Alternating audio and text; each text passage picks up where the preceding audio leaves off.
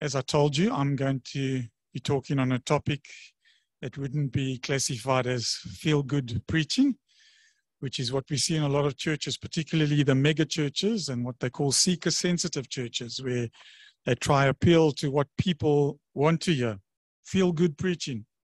And a lot of the preaching you'll hear today is just motivational speaking, covered with Christian language. If you listen to it, you can't necessarily fault it, but um, you'll find that they just talk about how God wants to bless you and do good things for you and give you cool things.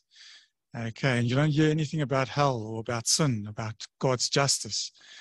And you talk about things that are positive. Why is that the case? That in order to fill churches, you have to preach like that? Well, there's different reasons why preachers do that. One is that they are hirelings, what Jesus referred to, not the good shepherd. They don't have their eye on the congr- they've got their eye on the congregation's wallets and not on their souls. They want large tithes, so we've got to be careful not to offend the tithers, chase them away. Perhaps they want to be liked and popular, so they give the people what they want. Jesus said that there was a sign of a false prophet, that all men speak well of them. But the true prophets, they treated badly because they didn't like their message. Perhaps it's because they don't really love the people, because if you truly love someone, you don't only tell them good things, you would warn them, tough love. Perhaps they get their theology from TV or from a preacher, but not from the Bible. And it's a problem with a lot of the messages today, is that they come from TV or they've been Googled or maybe using Chat GPT.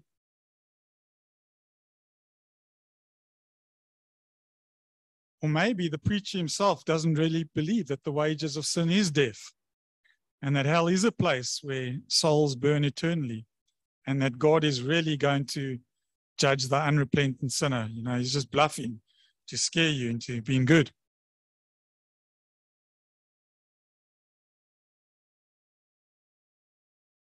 Perhaps they want to build up their own kingdom rather than the kingdom of God.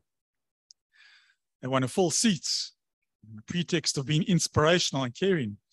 And so there you can see the largest mega church in America. Notice how full it is. And the preacher at that church admits that he focuses on optimism. And he says people have been beaten down enough by life by the time they go to church on Sundays. And his aim is to leave, for people to leave inspired. Now, there's nothing wrong with that. It's good to inspire people, and people are beaten down and need encouragement. But if that's all you've got to say, and you skip over what the Bible says on sin, righteousness, and judgment, then that's not only a half gospel, it's a false gospel.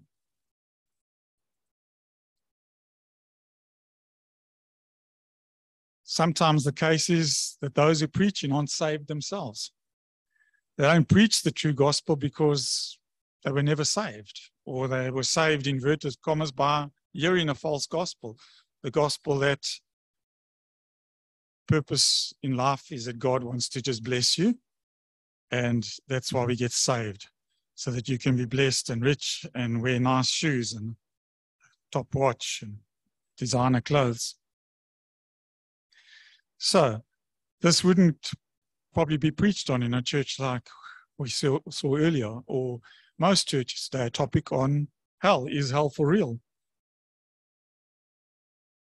C.S. Lewis, the well known Christian apologist who was an Oxford professor, was at Cambridge wrote many good books.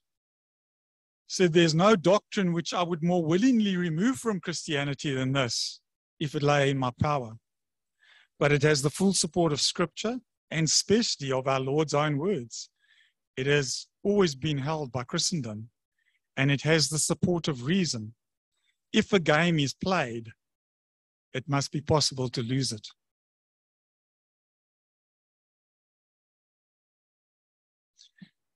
And if you don't know this, the one who spoke the most about hell in the Bible was Jesus, more than anyone else. And GotQuestions says Jesus taught that hell is a real place where some beings will spend eternity. In Jesus' teaching, hell is not figurative or symbolic, it is a real place in which real experiences take place. Jesus portrayed what hell is like with vivid imagery such as fire and darkness. Now, in our English Bibles, we have got different words from the Greek that are rendered as hell, which sometimes does cause a bit of confusion. And you've had teaching on this before, but I just want to remind you that one of the words in the New Testament that's translated as hell is Hades. And Hades is not the final hell, it's the interim dwelling place for the wicked death, the one that Jesus spoke about when he talked about the rich man and Lazarus. That's Hades. And so I'm going to use them fairly interchangeably, but I will mention because there's a lot of similarities in them in the interim place and the final place. And there's also Gehenna, which is the final lake of fire, which Jesus also spoke about in the book of Revelation. It calls it the lake of fire.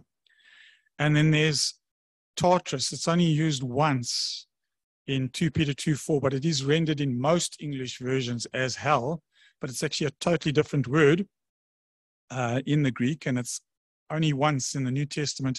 And we believe, without going into details on that, that that's actually referring to the abyss where the fallen angels, and that's the fallen angels of Genesis 6, not anything to do with Satan's rebellion. rebellion. The fallen angels of Genesis 6 are bound there and kept in chains of darkness until judgment. And that's what's referred to in 2 Peter 2 4.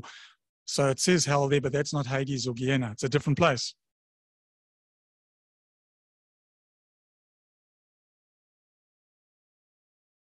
So, what did Jesus say about hell? Today, I'm just going to tell you what was said in terms of description of hell, and next time I'll speak on what the Bible says about those who will end up there. But Hades was the Greek word for the realm of the dead. And Jesus used it more specifically to refer to a place of torment and a place that is the opposite of heaven. The word Gehenna the name originally came from the Hinnom Valley, south of Jerusalem. And that is where centuries earlier they practiced child sacrifice. But by the time of Jesus, Gehenna was used of hell. And there are some people who try to tell you, uh, you argue against hell, will say, well, Gehenna was just the rubbish dump in Jerusalem where they burned things. And, um, you know, they like to think that because of that, hell's not a real place. Now, it's true that the word did come from that, but there's no evidence for the common assertion that the city's refuse was burnt in the Valley of Gehenna at the time of Jesus. It's one of these things that everybody cites it and everybody quotes each other, but there's actually no evidence that they actually burnt rubbish in Gehenna. So it does mean the Valley of Hinnom. And so where did this imagery come from? Well, there's only one clear reference in the book of Jeremiah 7, verse 31 to 32, where he says, They have built the high places of Topheth in the valley of Ben Hinnom. That's where Gehenna got its name from. To burn their sons and daughters in the fire. So it was a place where they were, as part of their pagan worship, burning their sons and daughters, child sacrifice. And because of that, the judgment with the Babylonians coming was going to be in response to that. So beware, the days are coming, declares the Lord, when the people will no longer call it Topheth or the valley of Ben Hinnom, but the valley of slaughter. For they will bury the dead in Topheth until there's no more room.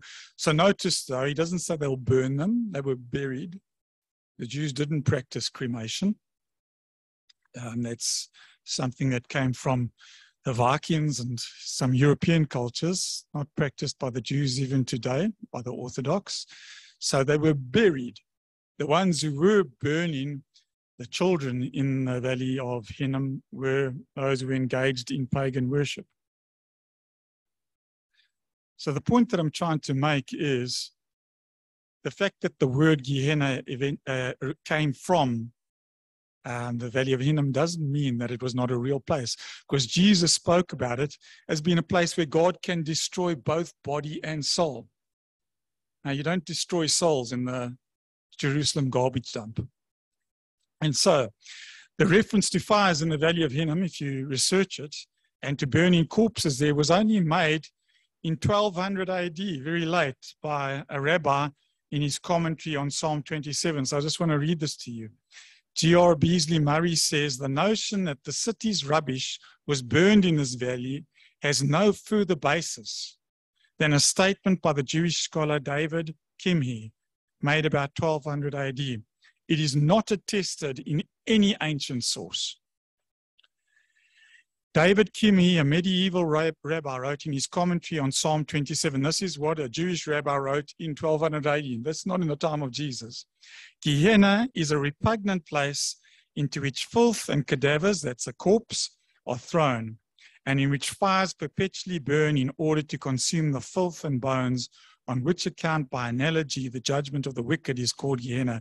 And that idea has been pulled into common popular theology to try to say, well, it's not really a real place. It was the garbage dump in Jerusalem, got its name from that. But Jesus spoke, as I said, of it being a place where God can destroy the soul. And so here's some story that Jesus told, not a parable, we'll see, about hell. This is Hades, the waiting place. That's the word he uses there, not Gehenna. And he spoke about it as being a place where there's a consciousness out of the body, not soul sleep. And he said there was a rich man who was dressed in purple and fine linen and lived in luxury every day. At his gate was laid a beggar named Lazarus, covered with sores and longing to eat what fell from the rich man's table. Even the dogs came and licked his sores. The time came when the beggar died, and the angels carried him to Abraham's side. The rich man also died and was buried. In hell, it's Hades, the waiting place, where he was in torment.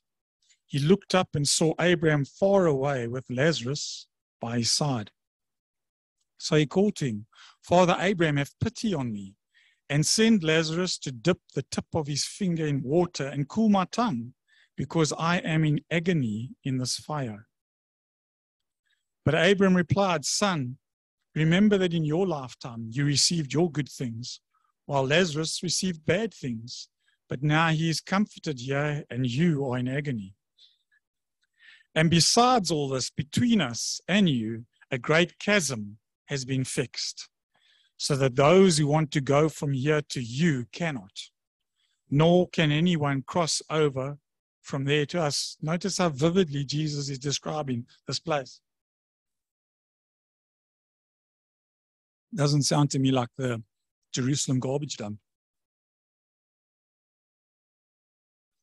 He answered, Then I beg you, Father, send Lazarus to my father's house, for I have five brothers. Let him warn them so that they will not also come to this place of torment. Abram replied, They have Moses and the prophets. Let them listen to them. No, Father Abram, he said, but if someone from the dead goes to them, they will repent.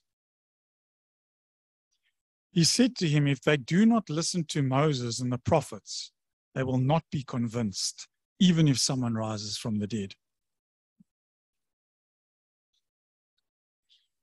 And so those who are uncomfortable with that particular story will not preach on it too much. And if they do, they will tell you it's a parable. But it's different to parables. If you go look at all the other parables of Jesus, and there are many, he never uses proper names like Lazarus.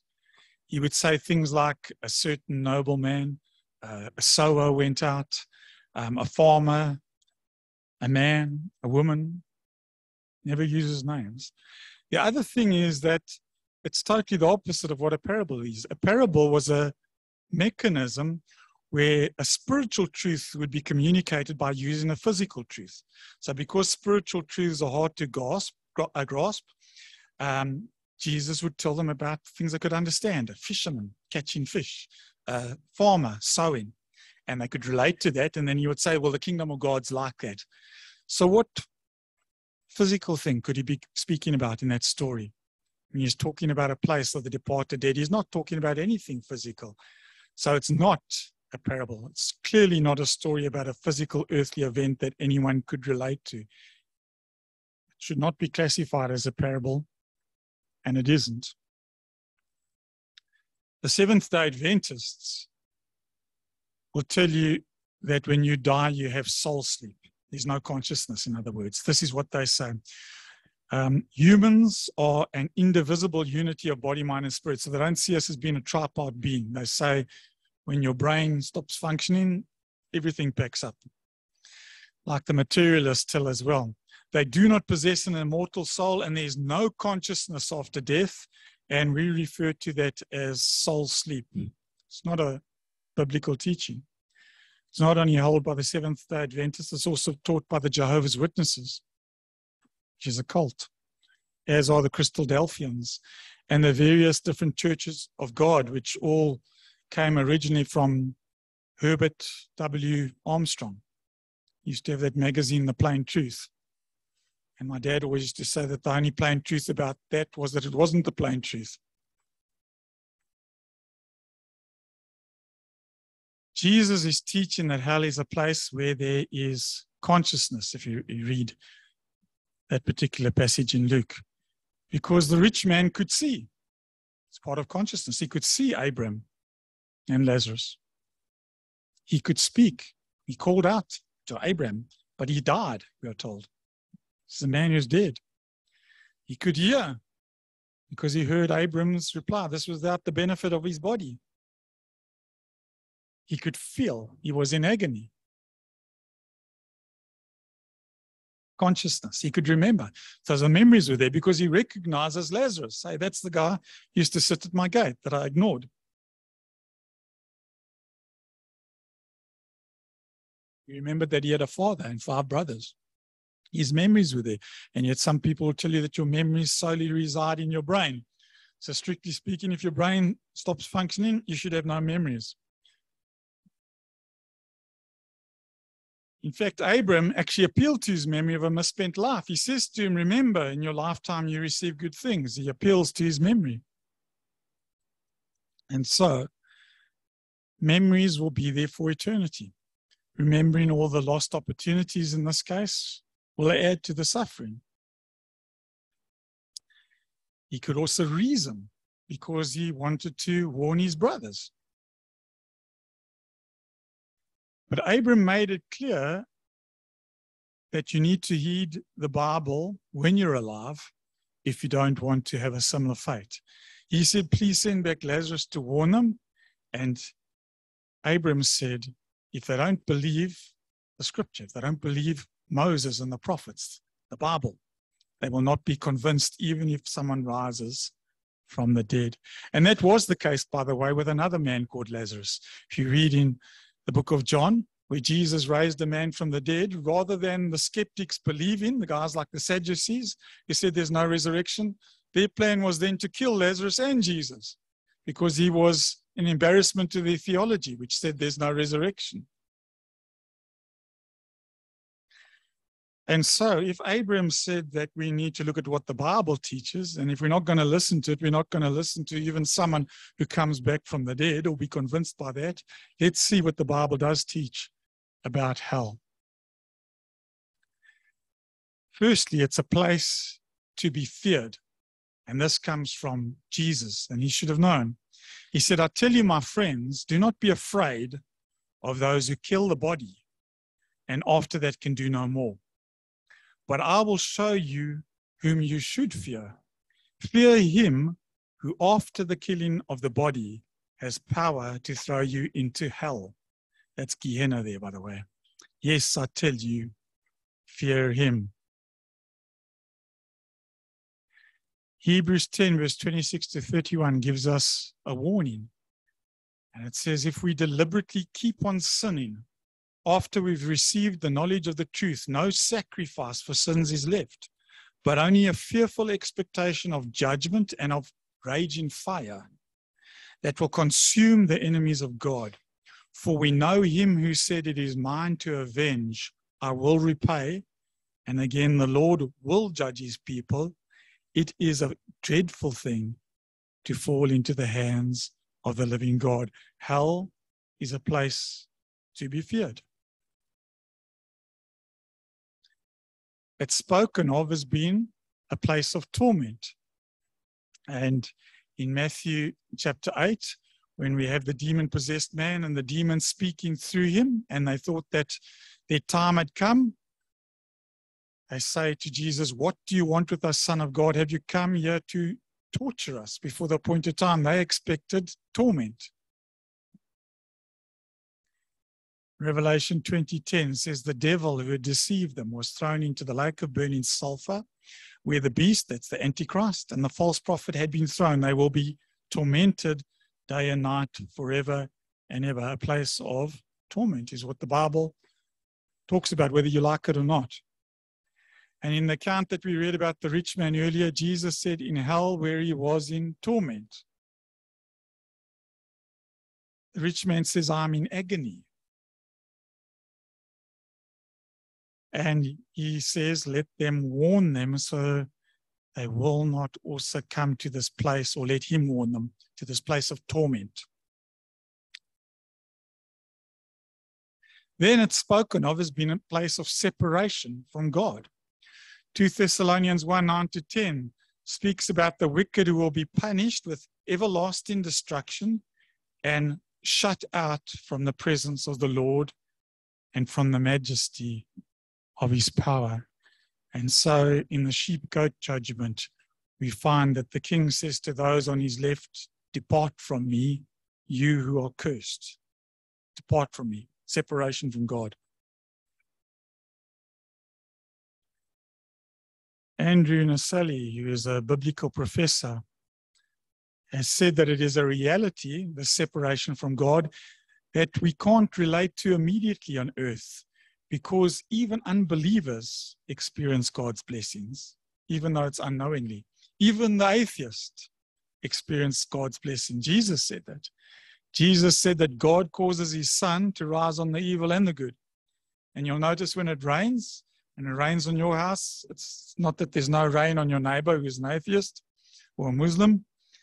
Okay, God sends his sun and the rain on the righteous and the righteous, unrighteous. In Luke 6 30, uh, 35, it says, God is kind to the ungrateful and wicked. And why? Because in Romans 2, verse 4, it says that God's kindness is intended to lead you to repentance. So even the ungodly do not fully experience separation from God's love while they are alive here on earth.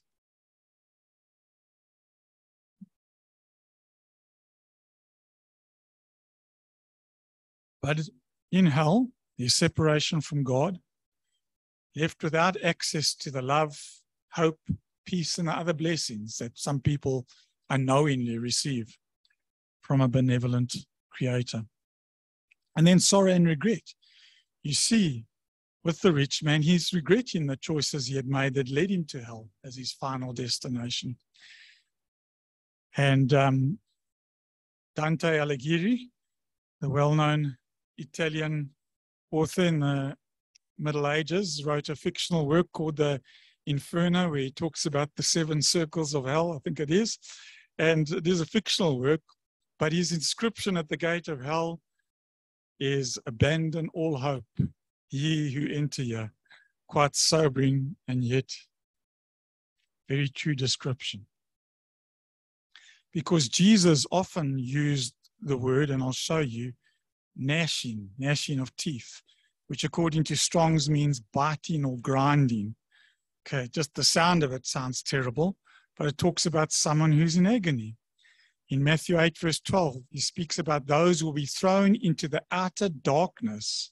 In that place, there will be weeping and gnashing of teeth. Weeping, that's sorrow, gnashing of teeth, agony, regret. And just to show you how many times Jesus, yes, speaks indirectly of hell. So besides the times he speaks directly about Hades and Gehenna, he often speaks indirectly and he uses the same symbolism. So the wicked lazy servant, the end of that parable, we are told that they cast the worthless servant into utter darkness. In that place, there will be weeping and gnashing of teeth. the unfaithful servant. Remember the one who didn't use the talent, single talent. He will cut him to pieces and assign him a place for the hypocrites where there will be weeping and gnashing of teeth.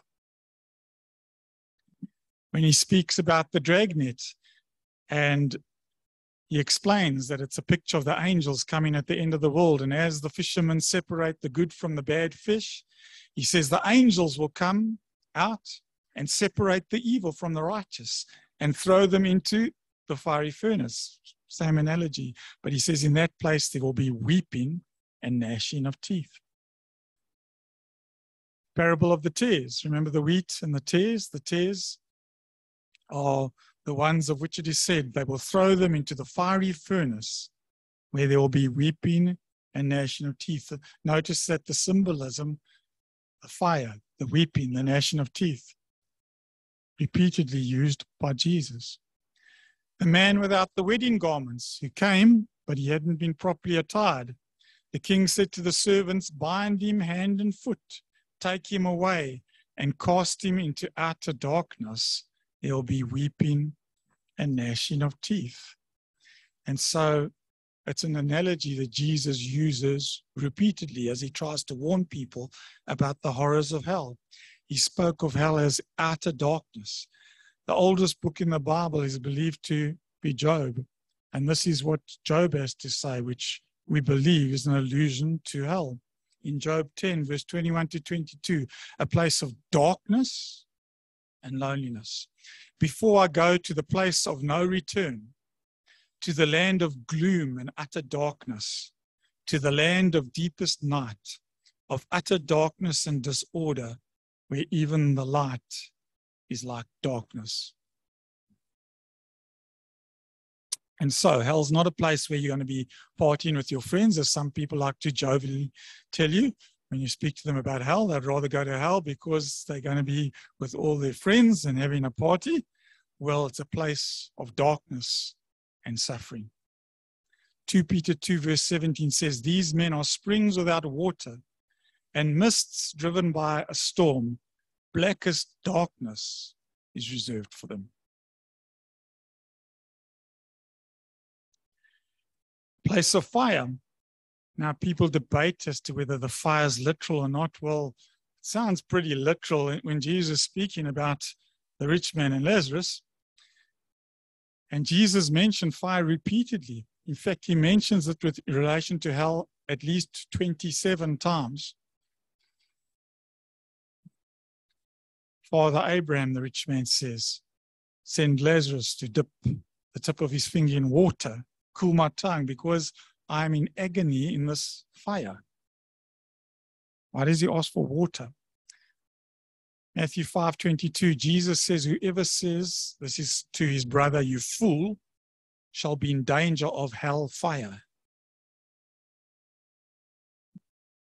The tares, Jesus said in Matthew 13, verse 42, are gathered and burnt in the fire, so it will be at the end of this age. Matthew 13, 42, they will cast them into the furnace of fire. I've mentioned some others there as well, which for the sake of time we won't go into, and we've already ref- referenced them elsewhere. Revelation 20:10 says the devil who deceived them was thrown into the lake of burning sulfur. You'd think if the intention is just to convey suffering, they could come up with some other analogies, but it seems the analogy is always the same. Revelation 9, verse 2. Now, remember, this is speaking about the abyss, which is more correctly equated with Tartarus. But still, once again, there are similarities. It speaks about smoke rising from it. Remember, there's no smoke without a fire. Smoke rose from it like the smoke from a gigantic furnace. The sun and sky were darkened by the smoke from the abyss the fallen angels are released then during the tribulation. Jesus not only used the analogy of fire, he used repeatedly um, this particular analogy, which is not a literal one. We don't literally have to pluck your eye out, but it shows how terrible um, this place is because he says, if your eye causes you to sin, pluck it out and cast it from you. It is better for you to enter into life with one eye rather than having two eyes to be eyes to be cast into hellfire. Now, as I say, please don't take that literally.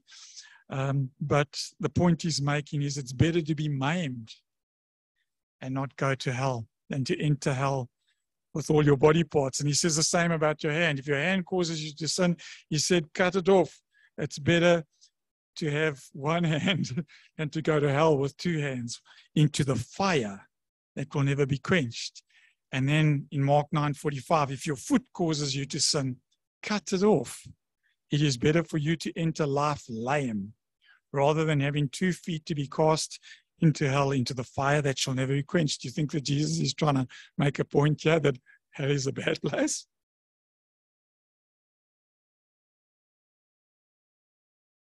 He even speaks about fire when he uses more figurative warnings about the punishment of the wicked. So in Matthew 7, verse 19, he says, Every tree that does not bear good fruit is cut down and thrown into the fire. There he is using an analogy. And the same with the vine. Remember John 15? If anyone does not abide in me, he is cast out as a branch and is, and is withered, and they gather them and throw them into the fire, and they are burned. Very common analogy. And so, those who believe in soul sleep typically believe in what's called annihilationism. So, what they say is not only does your soul sleep. They say that when you die, both the wicked and the righteous have no consciousness, despite what the Bible teaches on it. Is no knowledge, no consciousness. But then they go so uh, far as to say that at the resurrection, the, right, uh, the righteous, yes, they do live forever, but they say that the wicked are annihilated. And it's often linked to that doctrine. Soul sleep and annihilationism, again, you see the same suspects the Seventh day Adventists, Jehovah's Witness, Christadelphians, and the followers of Herbert Armstrong all believe in annihilationism. Very nice if it were true, but it's not. And so they believe in the doctrine of what they call conditional immortality. The Bible speaks that our soul and our spirit are immortal, whether you're righteous or not. And so conditional conditional immortality is the idea that a human soul is not immortal unless it is given eternal life. They assert that God will eventually destroy the wicked, leaving only the righteous to live on in immortality. One of their arguments is they say that eternal torment is a disproportionate punishment. They say that you have a finite lifespan and you can only commit a finite number of sins, and therefore to punish you with an infinite uh, duration is disproportionate. But the counter argument is that sin is not primarily against other people, it's against God. Psalm 51, verse 4, David says, Remember, he has had a man killed he's committed adultery with his wife. And he doesn't say, I've sinned against Uriah. He says, against you, that's God, and you only have I sinned. Sin is against God. And so the punishment for a crime, rather, we see in the Bible, is proportional to the status of the wronged individual. And because God is infinite and his infinite dignity requires that transgression against him warrants an infinite punishment.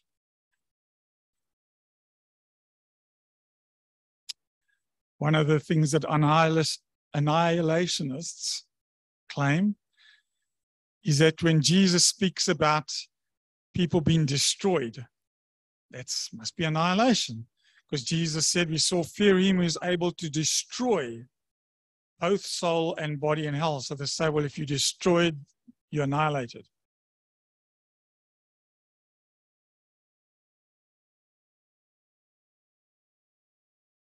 however that word that's used of as destroy, it can mean annihilation, but there are cases even in the Bible where it's not used of annihilation, where it means ceasing to exist in terms of you being ruined for the purpose to which you were supposed to serve. So Jesus speaks about the wineskins that burst, and he that uses the same word. that they destroyed. The wineskins didn't cease to exist. The point he was making is that they were no longer fit for the purpose to which they were intended. Food gone bad. Do not work for the food that perishes. If food goes bad, and the same word is used there, it doesn't mean it ceases to exist. It just means it's no longer fit for human consumption. So that word is not used exclusively in the Greek New Testament of things that are annihilated. It is sometimes used in the sense as I've showed you, where something is just ruined for the purpose that it was supposed to serve. And that is the sense I believe that Jesus is speaking of there when he speaks about God destroying the soul and the body. They are ruined for the purpose to which they were supposed to serve.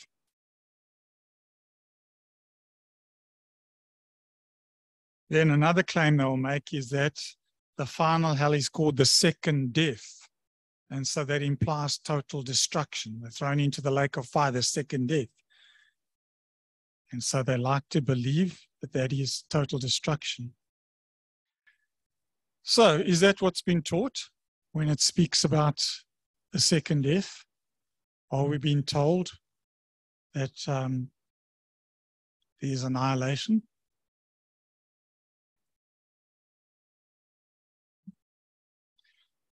I want to remind you that death in the Bible never means extinction, but separation.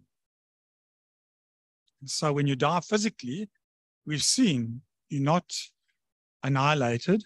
It's the separation of the body and soul and spirit. We taught in the Bible that there's still consciousness of the soul and the spirit. In the book of Revelation as well, you see the souls under the altar crying out to God for vengeance. They are conscious, they're speaking. And they remember what happened to them on earth. How long, O Lord, until you avenge us? Okay, so the Bible doesn't speak that death is cessation of existence, it's separation. In the case of physical death, the body and the soul and spirit are separated. Spiritual death as well is separation. Remember what Adam and Eve were told in the day you eat from the tree, you will surely die. They ate from the tree and they didn't drop dead. But what did happen? They were separated from God. Spiritual death implied separation from God, not that they ceased to exist. And so the second death is permanent separation of man from God. We saw separation from his presence. Depart from me, you who are cursed.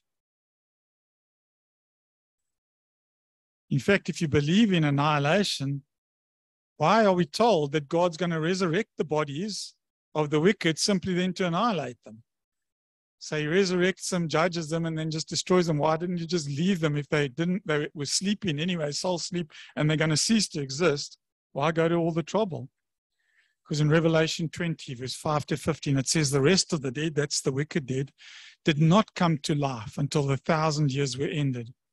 Then I saw a great white throne and him who was seated on it, and I saw the dead great and small, standing before the throne. The dead were judged according to what they had done, as recorded in the books. The lake of fire is the second death. Anyone whose name was not found written in the book of life was thrown into the lake of fire. Second death, in the sense that these resurrected people, their bodies have been resurrected as well, are thrown bodily, as are the Antichrist and the false prophet. They're thrown body soul and spirit into the lake of fire and is eternal separation from God, not annihilation. So annihilationists will also tell you, well, this idea of everlasting concept, uh, punishment is not a concept you find in the Old Testament.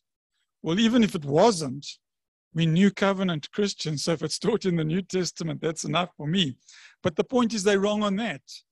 Because in Daniel 12, verse 2, it says multiple uh, multitudes who sleep in the dust of the earth will awake, some to everlasting life, others to shame and everlasting contempt. Everlasting contempt. Isaiah spoke of everlasting burning for the godless. In chapter 33, verse 14, the sinners in Zion are terrified. Trembling grips the godless. Who of us can dwell with the consuming fire? Who of us can dwell with everlasting burning. And there are many Old Testament passages like Psalm 78, 66 and Jeremiah 23, 40, which refer to eternal shame for the wicked. Psalm 52, verse 5 speaks about God bringing the wicked down to everlasting ruin. Jeremiah 25, verse 9, same thing. If you're going to experience everlasting shame, everlasting ruin, that requires consciousness. If you've been annihilated, how can you have everlasting shame? And why would you be warned about that?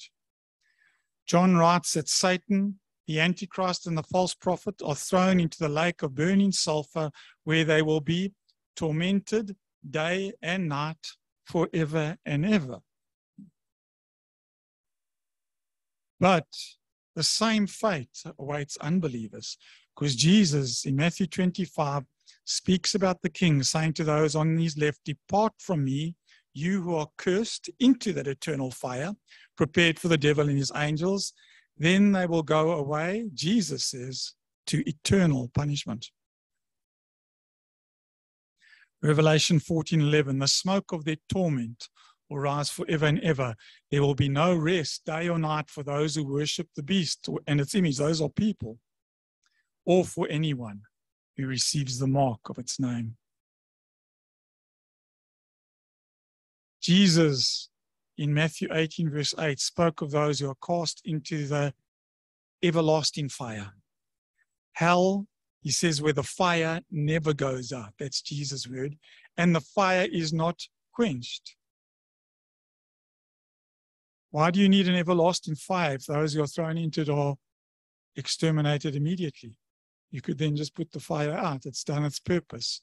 But it's spoken of as being an everlasting fire, a fire that never goes out, a fire that is not quenched. Jude 7, they serve as an example of those who suffer the punishment of eternal fire. 2 Thessalonians 1, verse 9, they will be punished with everlasting destruction. Now, Isaiah also spoke about a fire that will not be quenched and worms that will not die. Isaiah 66 24, he says, They shall go out and look on the dead bodies of the men who have rebelled against me, for their worm shall not die, their fire shall not be quenched, and they shall be an abhorrence to all flesh. Now, Jesus quoted that, but he quoted it in the context of warning about hell. And so Jesus says, if your eye causes you to sin, tear it out. It is better for you to enter the kingdom of God with one eye than with two eyes to be thrown into hell where their worm does not die and the fire is not quenched. He's taking that from Isaiah and he's applying it to people who have died.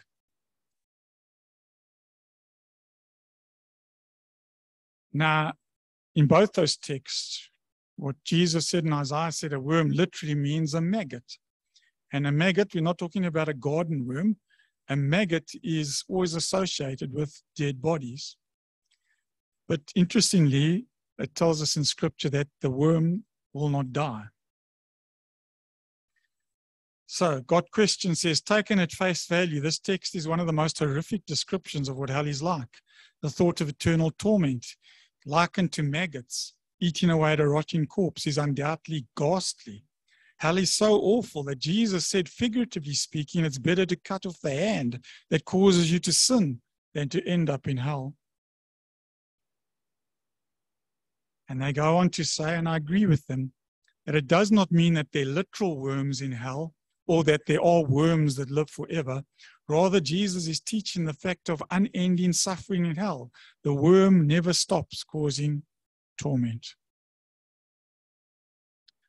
What's also interesting is that it says their worm. It doesn't say the worm, it says their worm. So it makes it personal. Identifying the worm as having an owner. The source of torment is attached to its own host. And so, again, I want to read this from GotQuestions. Very interesting, I found. It's an alternate explanation to literal worm, which I don't think goes against what scripture teaches elsewhere. Some Bible scholars believe the worm refers to a man's conscience.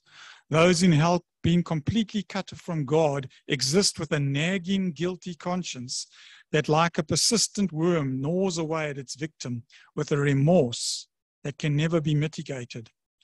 No matter what the word worm refers to, the most important thing to be gained from these words of Christ is that we should do everything in our power to escape the horrors of hell. And there is only one thing to that end receiving Jesus as the Lord of our lives. Hell is spoken of as a place of finality. We used to have a bumper sticker when we were younger that says, Hell has no fire escape. And so there's no second chance to change your mind about serving God after you die. There's no purgatory you can go to where your friends can pay some money to get you out early or can pray you into heaven, as some teach. We see when Jesus spoke of this place where the rich man was, he says, We can't come to you even if we want to, and you can't come to us. It's a place of finality. And Hebrews 9, verse 27 says that man is destined to die once and after that to face judgment. You don't come back as false religions teach and get reincarnated and get chance after chance. Man is destined to live once, to die once, and to be judged. So annihilationists say, well, God is too loving to torment his creations forever. And it's true in 1 John 4, verse 16, it says, God is love. But you got to read the whole Bible. And 1 Peter 1 16 says, God is holy. And it speaks about God being just. And so, as a just God, he will ultimately punish sin that is unconfessed.